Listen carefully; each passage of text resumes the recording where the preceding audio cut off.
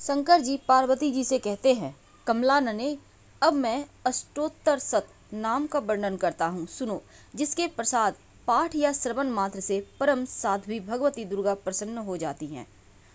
ओम दुर्गा सती, साध्वी भवप्रीता, भवानी भवमोचनी, आर्या, दुर्गा, जया, आद्या, त्रिनेत्रा शूलधारिणी पिनाकधारिणी, चित्रा, चंद्रघंटा, महातपः मन, बुद्धि, अहंकारा, चित्तरूपा, चिताचिति, सर्वमंत्रमयी, सत्ता, सत्यानंद स्वरूपिणी, अनंता, भाविनी, भाव्या, भव्या, अभव्या सदा गति सासाम्भी देव माता चिंता रत्न प्रिया सर्वविद्या दक्ष कन्या दक्ष यज्ञ विनाशिनी अपर्णा अनेक वर्णा पाटला, पाटलावती, पट्टारम परिधाना कल मंजरी रंजिनी, ओमेय विक्रमा, क्रूरा, क्रूर सुंदरी।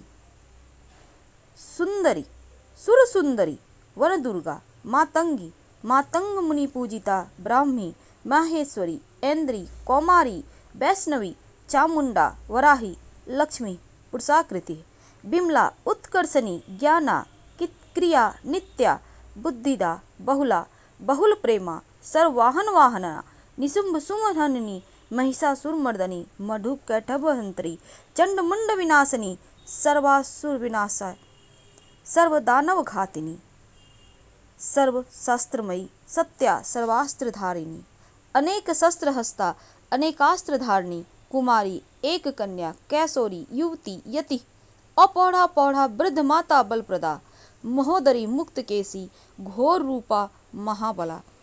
अग्निज्वाला, रौद्रमुखी, कालरात्रि, तपस्विनी, नारायणी, भद्रकाली, विष्णुमाया, जलोदरी, शिवदूती, कराली, अनंता, परमेश्वरी, कात्यायनी, सावित्री, प्रत्यक्षा, ब्रह्मवादिनी।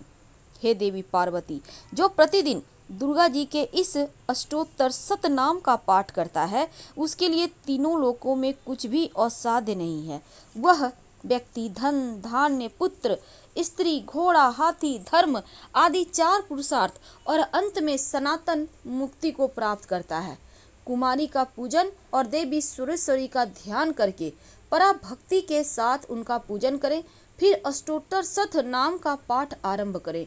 देवी जो ऐसा करता है, उसे सब श्रेष्ठ देवताओं से भी सिद्धि प्राप्त होती है। राजा उसके दास हो जाते हैं। वह राज्य लक्ष्मी प्राप्त कर लेता है। गोरोचन, लाक्षा, कुमकुम, सिंदूर, कपूर, घी अथवा दूध, चीनी, मधु, इन वस्तुओं को एकत्र करके इनसे विधि पूर्वक यंत्र लिखकर जो विधि पूर्वक पुरुष सदा उसको धारण करता है, वह शिव तुल्य मोक्ष रूप हो जाता है और भौमवती अमावस्या आधी रात में जब चंद्रमा सदभिषा नक्षत्र में हो, उस समय इस स्त्रोत को लिखकर जो इसका पाठ करता है, वह संपत्तिशाली हो जाता है। हर हर महादेव। बोलो, अम्बे मात की जय।